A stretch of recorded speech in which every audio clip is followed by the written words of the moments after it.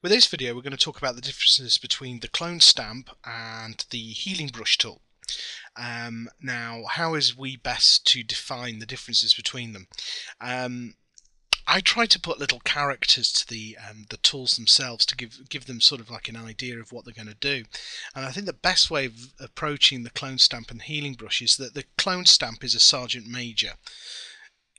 Tells you what's going to happen. You are going to do it. It's very brash, it's very forceful, it will override everything. Whereas the healing brush is a lot more like a mediator. It sort of takes both sides of the um, argument and it comes up with a happy medium. So another way of looking at it is that the clone stamp is um, quite harsh and the healing brush is quite gentle. Um, and to give you an emphasis of this, I've got this picture in front of us here, courtesy of freedigitalphotos.net.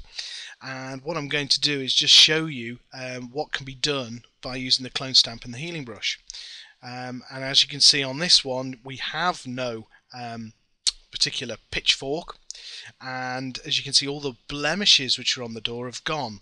So on the left hand side is using the clone stamp tool and on the right hand side is using the healing brush. So let's get to it. Let's see how this works. So the first thing I'm going to do is I'm going to create a um, new layer and I'm going to just call this clone. And I'm also going to create yet another layer and I'm going to call this heal. So we can do our healing alterations and our clone alterations just to see what the differences are.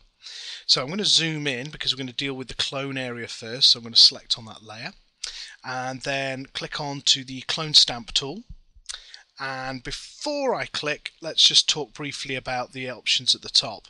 First and foremost is this one here sample current and below. What this basically means is where we are sitting in the clone area anything below this um, layer will be used as the clone image.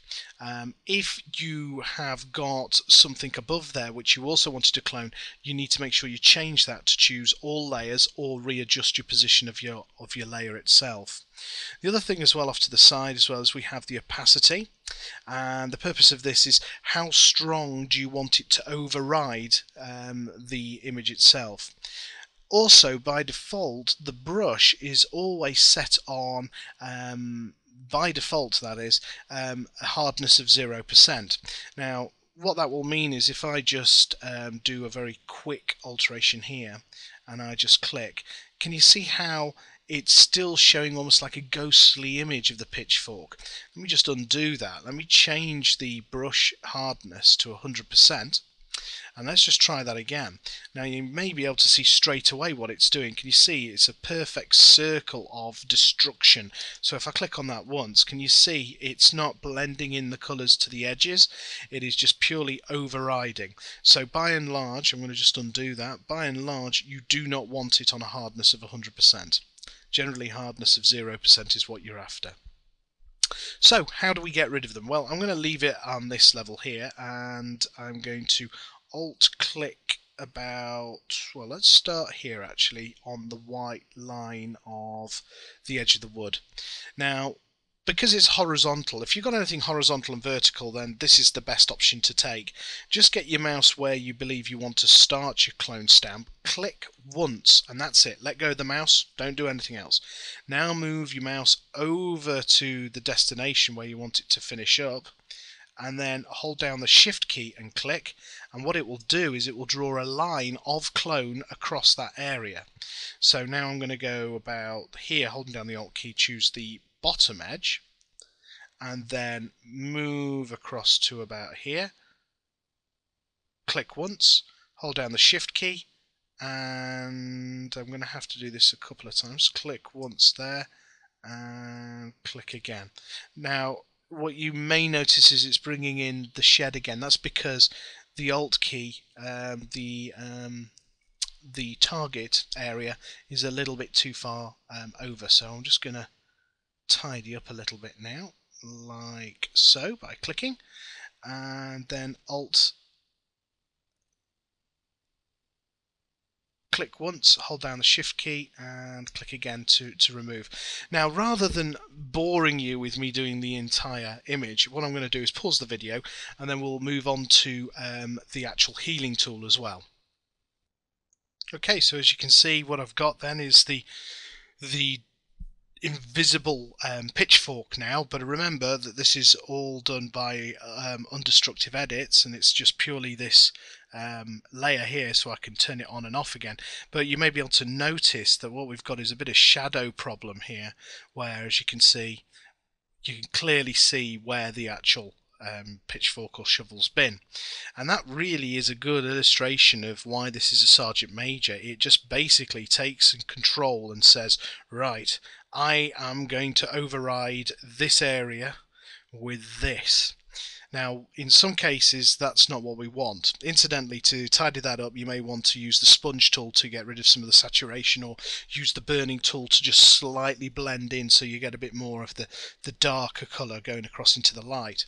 Um, over here, though, what we're going to do is we're going to look at the alternative option, which is using the healing brush.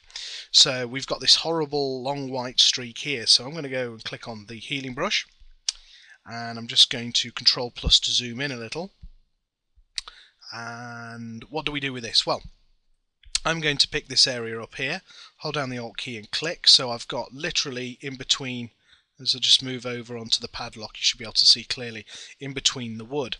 And so I'm going to move down to about here, and just like what we did before, I'm going to hold down the, uh, well, click once with the mouse, and then hold down the Shift key, and then click again. So I then draw this line. And as you can see how much smoother it is it's not getting rid of a lot of the um, the detail. All it's doing is it's picking out the highlights and saying well they shouldn't be there and actually remove them.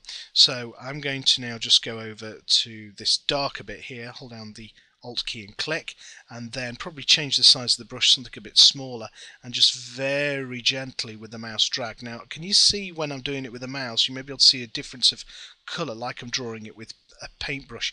However, watch what happens when I let go.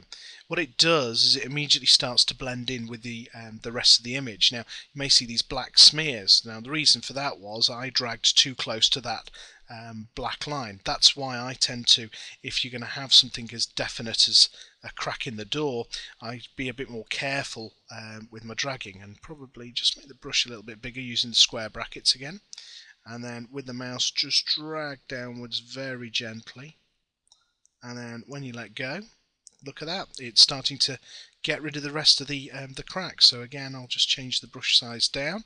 Let's close square bracket and drag very gently over here. And when I let go I'm getting rid of a lot of the the nasty the nasty um, horrible defects which we've got um, on this. So there you have it. What you can do then is with the the healing brush is tidy up the image quite quickly just purely by selecting an area of the same color.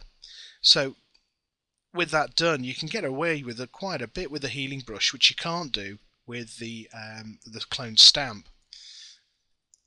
Let's just tidy that up a little bit. There we go.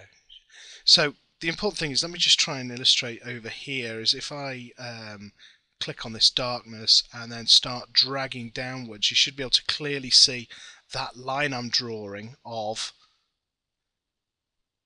can you see the colour doesn't get overwritten? Whereas if I use the clone stamp and did the same thing let's change the size of the brush down a little bit and I alt click there and then drag with the mouse what will happen is whatever I'm drawing there will be overwritten permanently. So it's very important to really differentiate between the two Difference is that the clone stamp is more of a mediator. It looks at the image and it looks at what you've selected to replace that image with and then it works out the happy medium. Whereas the clone stamp tool is a lot more like a sergeant major and it will just literally do what you tell it. And so it will override and completely trundle all over your image and so you've got to be quite careful with it. So if you are going to use the clone stamp tool what I suggest is you try it out and you'll have to undo a few times. But what you probably end up doing is looking at adjusting the brush so it's on a hardness of 0% and also the opacity maybe knock it down a little bit rather than leaving it full on. But at the end of the day as long as you use layers like this you can just very quickly turn it off and get back to the original image so hopefully this has given you a bit of an insight into the two differences between the clone stamp tool and the healing brush. So look forward to seeing you again soon. Cheers.